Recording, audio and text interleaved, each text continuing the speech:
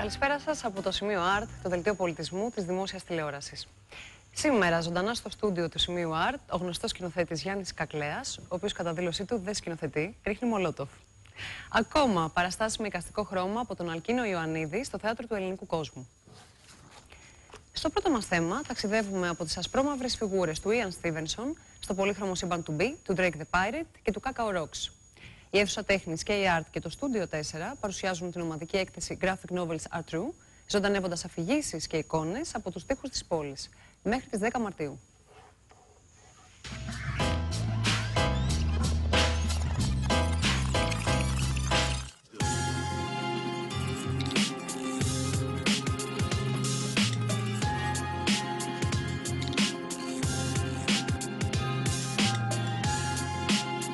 Τίτλος της έκθεσης, Graphic Novels Are True, ουσιαστικά αναφέρεται στις παραστάσεις που δημιουργούν τέσσερις καλλιτέχνες ο B, ο Ian Stevenson, ο Drake the Pirate και ο Kakao Rocks και ουσιαστικά δηλώνει ένα κομμάτι της πραγματικότητας όπως οι ίδιοι το αντιλαμβάνονται.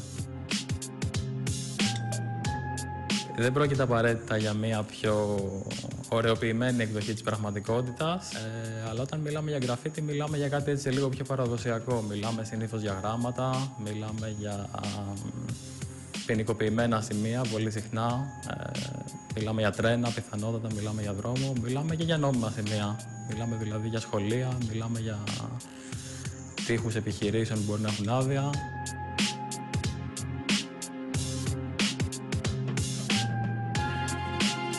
Ξεκίνησα με τον γραφίτι και να ζωγραφίζω τείχους όταν πήγαινα στο σχολείο.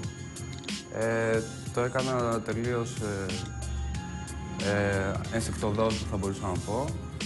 Τα εργαλεία της δουλειάς μου είναι αυτά και του συμβατικού ζωγράφου, παραδοσιακά πινέλα, απογιές και ίσως κάποιες φορές και τα σπρέι όταν βιαζόμαστε.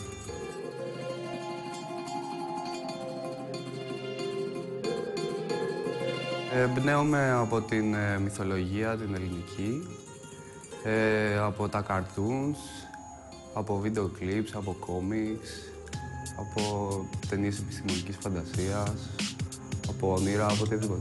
Κάποιες φορές λέω ιστορίες προσωπικές ε, και άλλες φορές θέλω όντως να πω κάτι στην κοινωνία, αλλά ούτως ή άλλως και η ίδια πράξη σημαίνει κάτι. Όταν ζωγραφίζεις κάτι παράνομα, ε, αμφισβητήσεις τους νόμους, αμφισβητείς τα πάντα.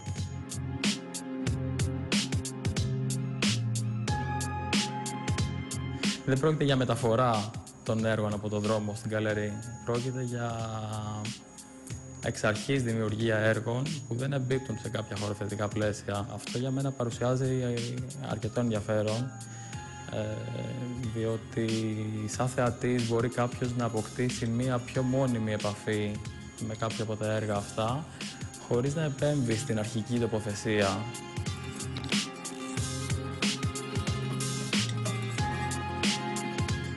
Τα τελευταία χρόνια το γραφίτι στην Αθήνα έχει ανθίσει.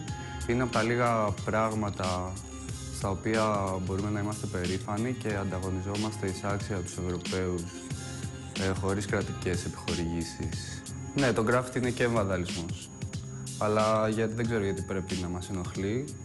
Ίσως πρέπει να κοιτάξουμε πρώτα την ηχορύπανση, τη ρύπανση του περιβάλλοντος και μετά να μας ενοχλήσει λίγη μπογιά στον τοίχο του σπιτιού μας. Για μένα το graffiti είναι η τέχνη που ξαναβρήκε τον εαυτό της.